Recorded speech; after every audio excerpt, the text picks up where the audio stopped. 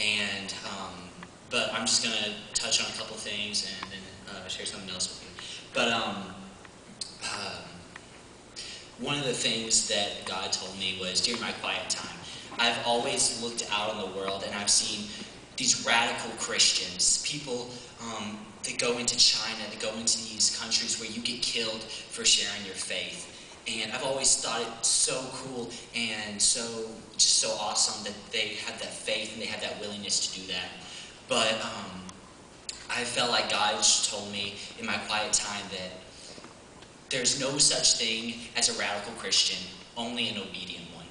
If God tells you to go to China and you go to China, that makes you a radical Christian. But if God tells you to go into your schools and tell everyone you can about God, that also makes you a radical Christian.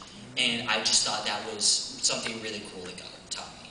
Um, another thing was um, there was a really cool poet, um, David Bowden, that um, he had come to Super Summer, and um, he's just a crazy awesome poet. But um, uh, since he was there, he showed one, he shared one of his poems, and at the rally, I they had a contest where all the schools were able to send up um, a poet, and so I got to go up for our school, and so that was really cool. But I'm just going to share the poem that I shared at Super Summer. Darkness, a lack of light. Its definition simple, not so hard to comprehend, but those who live in it continue to pretend as if this is the way it's supposed to be, like they belong to its treachery. But its immortality has nothing to do with you and me, but everything to do with what we cannot see. Let me be honest and say it has not always been this way. Darkness was not always here. There was once no such thing as a tear. It was once beautiful from the bird to the air to the way life went on without a care. But then darkness crept in, all because one chose to sin. Death fed, darkness spread until it became the world we now know. But as the world became sicker, there was a flicker. Hope in the distance, a strong resistance, a beautiful, elegant light willing to fight. The power that was in it showed that only one could have sent it. As the light grew near, the darkness began to tremble with fear. Then came the drums of war, the tension was tore, as over the hill the light began to pour. Lightning struck, the darkness was stuck. The darkness tried to flee, but it quickly found out there was nowhere the light couldn't see. Then the light reached out and pulled it out of us, because the darkness truly dwells inside of all of us. So now, don't you see? The true enemy is the inner me.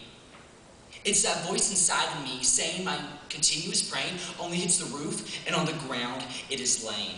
But the light cries out and continues to shout that God loves me, all of me, despite my most treacherous treachery.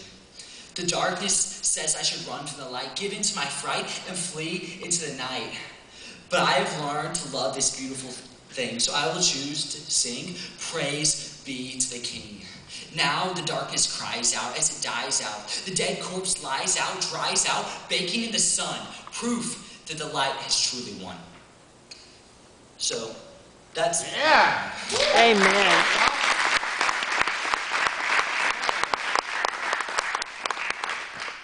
But I just had an awesome opportunity to be able to go up and share that, and I'm really thankful to God just for all the opportunities I've had, not only just to share, but also to listen to other people share, um, like their testimonies and other things. So it was just an amazing time, and I'm super stoked to go back next year, and um, I'm really hoping I can apply what I've learned, because it's, it's not useful if I go and I learn something, but I never apply it. So I'm really hoping that I can take what I've learned and apply it to my life from here on out. So.